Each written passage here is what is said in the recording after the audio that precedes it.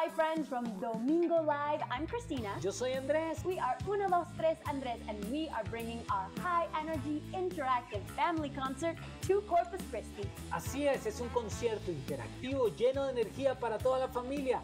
Es la mejor manera de celebrar el mes de la hispanidad juntos. It's going to be an unforgettable family event, so don't miss it.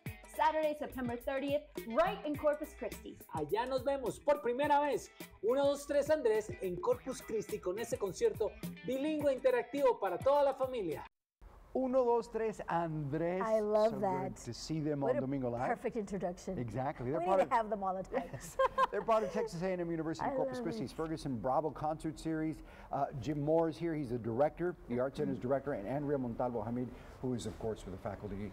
Good to have you guys Yes. here. Thanks for having Thank you for having us. What a lineup. Yeah, it's great. Um, they're, you can tell they're so high energy, and we're really excited to have them. Yes. Uh, it's the first time we've ever presented them, and um, gosh, I, I can't wait to have them.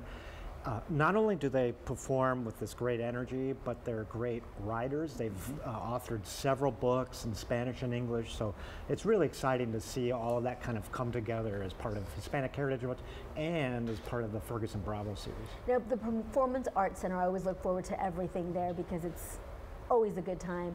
But it seems like every single year, especially during Hispanic Heritage Month, you always come up with something different. We Uh, try to, for introducing sure. something different, something, you know, where do you find these acts? Where do you find these performances? Uh, well, the acts and performances, that's a Jim question as you're act director. But as someone who helps organize, you know, we talked earlier about the importance of keeping the costs down. Yes. So we really want people to feel welcome. Um, as someone born and raised in Corpus, I think because we're on an island, sometimes people might not feel like they want to drive over there or that they are welcome, but we want to offer things that entice people. And so especially this program is great because it's focused on kids, right? So we plan things with the community involved, but I think this is one thing that's very specifically for a younger crowd, and I would I hope that families will enjoy it. Absolutely. And you've got so many other events, Jim, right, planned? I do. So actually, right after this concert in November is the Queens Cartoonists, and they are actually not from England. They're from Queens, New York. And, uh, nice. And so they uh, perform music to cartoons, basically, uh, jazz and classical arrangements to cartoons uh, dating back 80, 90 years, all the way to current uh, perform uh, current cartoons. So it's really uh, also high energy, really high energy performance. And then uh, we have other events, and of course we kind of end our concert series with our friends, the Glenn Miller Orchestra. You were talking earlier about big band Oh, and yeah. jazz arrangements.